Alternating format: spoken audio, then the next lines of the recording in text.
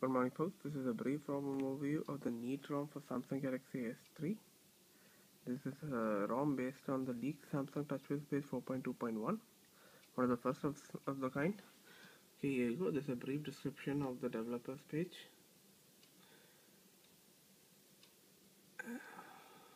As you can see, uh, it's based on the, it was launched two days ago, it is based on the uh, JB Leak 4.2.1 this is how Samsung going to launch the S, uh, Android 4.2.1 for the S3 okay um, this is the lock screen for JB you can see you still have the ripple effect but it's changed a bit. It looks more subtle unlike before the animation is being more stronger.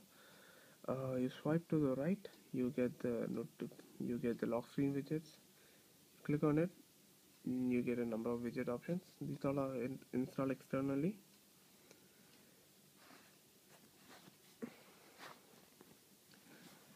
you go you can swipe up. You get the same ripple effect. If you swipe to the right swipe to the left you get the camera option. Or you can see that icon over here.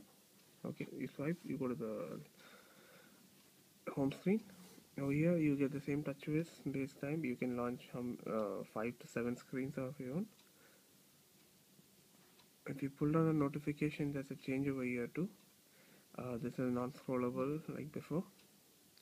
It's now static the 5 are static you get the same slider. Slider has been changed a bit where you get this um, normal slider and then you can increase it by up to plus 5 than usual or you can even go to minus 5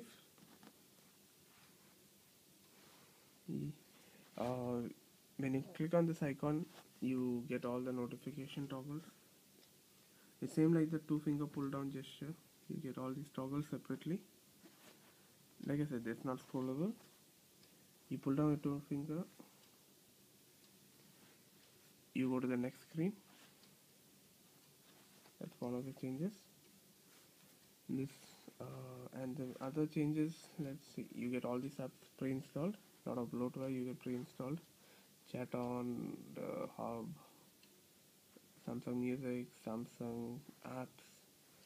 Like i said it's a, a pretty decent rom. It's around 728 mb big. Uh, if you go to the settings you can notice some few changes very few changes but about device. There you go android 4.2.1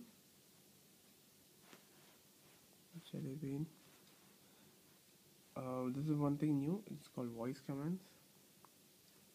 You can comment or uh, many things in this phone number voice.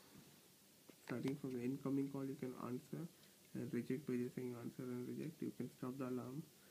Use the camera. Before you say cheese you can take photograph. Now you can say smile capture and shoot. In music you can uh, go to next. Previous pause play down play uh, volume and radio also you can control. So one change. Um, the motion gestures are still the same.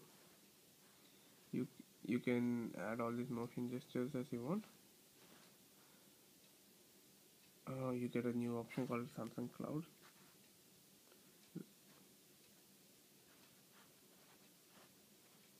Samsung Cloud in the lock screen if you go you can add a ripple effect. You can wake up lock screen by saying hi galaxy or whatever you want.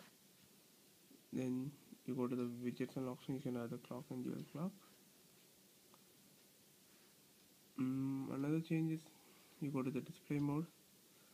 Uh, you get an option called daydreams which is based on 4.2.1 smart rotation is there. Smart stay is still there. Nothing much changes here they've not add a whole lot of changes but it's just, just TouchWiz based go back let's see. One of the major a few things bugs in this ROM is that it sometimes gets a little slow because it's just the first release. Otherwise it's a pretty stable ROM. You get these features in the camera no changes at all in the camera. There's a hint of lag in this. You can say cheese it takes a photograph smile capture and shoot. Okay. See I didn't say anything. It still shooted capture. It's just too gimmicky you get Chrome as built-in you get a number of things built-in I can show you uninstall apps.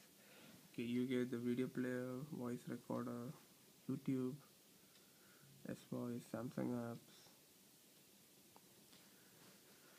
Google Talk Play Store paper artist messaging maps music player flipboard fm radio games hub all a, a jewish calendar i know for what. All this you get as pre-installed? Yep two finger swipe works one finger swipe. To expand notifications you can do with the two finger swipe I cancel it okay that's just about it uh, this is a brief overview of the Android 4.2.1 leak-based Neat ROM. Hats off to the developer for porting it so soon. Till then, I will tell everyone to give it a shot. You'll really like it. Stable ROM, very very stable ROM. Only thing it might get a little bit of lag, but still you can live with it. Anyhow, have a nice day, everyone. Bye bye.